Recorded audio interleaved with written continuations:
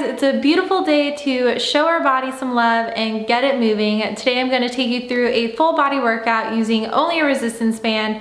Make sure to let me know what you think of this workout in the comments and to like this video and subscribe to my channel so you get alerted for future videos. Especially since a lot of people are opting for home workouts right now, a resistance band is a great investment. It helps you build strength, improve your mobility, and can also help you in rehabbing injuries as well. It helps you really focus on control during a movement so that when you do add heavier weights, your form is a lot better and the constant tension with the resistance band increases the muscle stimulation during an exercise since you are constantly trying to keep the band from going back into its original position. You can grab the exact band that I'm using in this workout down in my YouTube description. It's from my own company called Body Rebel, which is a fitness company that encourages women to find their balance in leading a healthy lifestyle by putting mental health at the forefront of all decisions that they make. A lot of times when people are pursuing health, they forget to actually be healthy since they're focusing on the numbers or the aesthetics and the images behind wellness. But the best long-term effects are when you focus on exercising because you love your body, not because you hate it. That will lead to a much more sustainable routine for you since you're not attaching your self-worth to an external image or external criteria, which is something I aim to help with with my videos and also with my company. Now for the workout, we're gonna be doing three rounds and 40 seconds on and 10 seconds off. It's not really much of a rest time since it's just enough time for you to get into the next position for the next exercise. There will be a one minute break in between each circuit as well. So it's a pretty fast paced workout, but you will get the hang of it after the first round and you can also do more rounds if you're feeling up for it. Exercises in this video are gonna be all listed right here so that you can kind of anticipate what's to come but they are band pull-aparts, seated row combo, a bicep curl to wide curl, an alternating bent over row, a shoulder press with a squat on one side and shoulder press with a squat on the other. And then we're gonna do kickbacks on your right leg and kickbacks on your left leg. And we are going to end with good mornings. So we got a lot to do and we'll get right into it.